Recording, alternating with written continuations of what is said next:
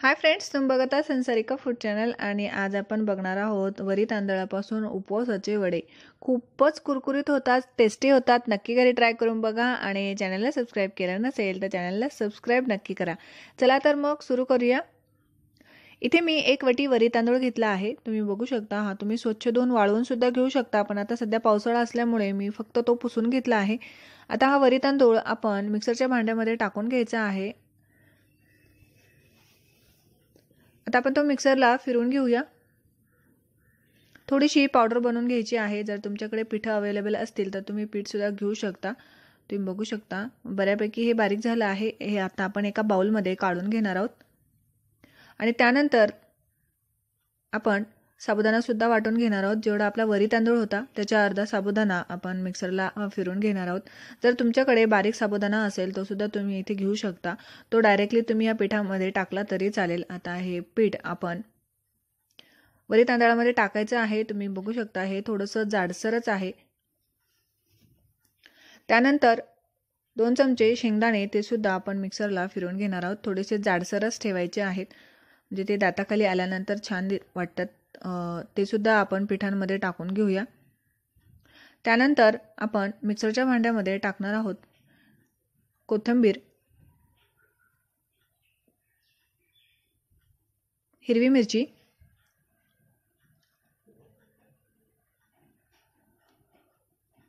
आल्याचे तुकडे.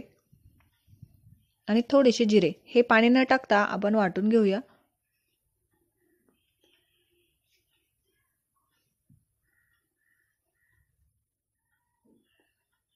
वाटून झाल्यानंतर हे आपण पिठामध्ये मिक्स करून घ्यायचं आहे. तुम्ही बघू शकता हे मी ते खरडाच ठेवलं आहे.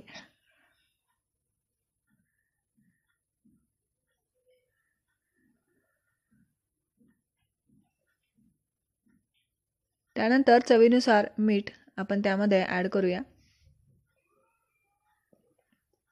एक छोटी वाटी थोडंसं आंबट दही.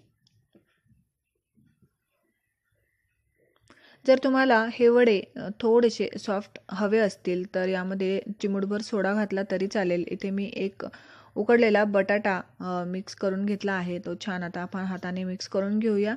आणि हे सर्व साहित्य आपण मळून घ्यायचं आहे.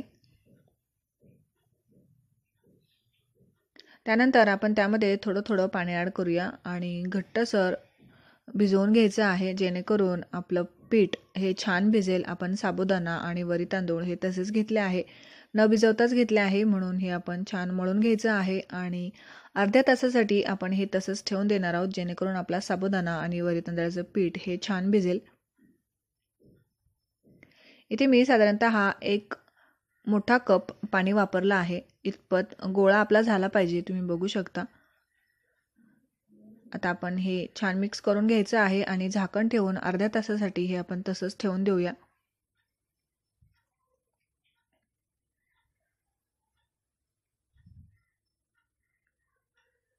अर्ध्या तासानंतर तुम्ही बघू शकता हे छान फुललं गेलं आहे. हे पुन्हा छान मळून घ्यायचं आहे म्हणजे ते छान एकजीव होईल. आणि त्यानंतर आपण त्याचे वडे थापून घेणार आहोत.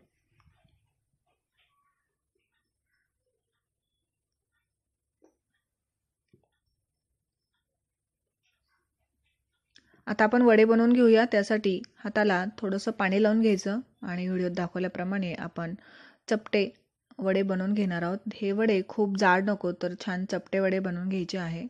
हाताच्या साह्याने आपण ते प्रेस करून घेऊया आणि छान आकार द्यायचा आहे. आणि मधोमध होल करायचं आहे. हे वडे तुम्ही असेही ठेवू शकता पण आपण इथे होल करत आहोत जेणेकरून ते छान तळले जातील. आणि दिसायलाही छान दिसतात म्हणून ते होल करून घ्या. आणि अशाच प्रकारे आता आपण सर्व वडे बनवून घेऊया.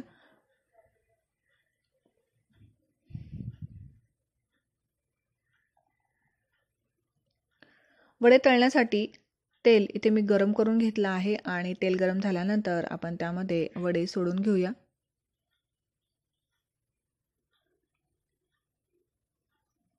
हाय फ्लेमवरच छान ब्राऊन होईपर्यंत आपण ते तळून घेणार आहोत. आता आपण वडे दुसऱ्या बाजूने सुद्धा छान तळून घेऊया. हे तुम्ही तळलेल्या हिरव्या मिरचीबरोबर दह्यासोबत किंवा दह्याच्या चटणीसोबत खाऊ शकतात. खूपच टेस्टी लागतात. उपवासाला तेच तेच पदार्थ खाऊन कंटाळा आला असेल तर नक्की घरी ट्राय करून बघा. छान ब्राऊन असा कलर आला आहे. आता आपण ते काढून घेऊया. आणि त्याच तेलामध्ये आपण मिरच्यासुद्धा तळून घेऊया.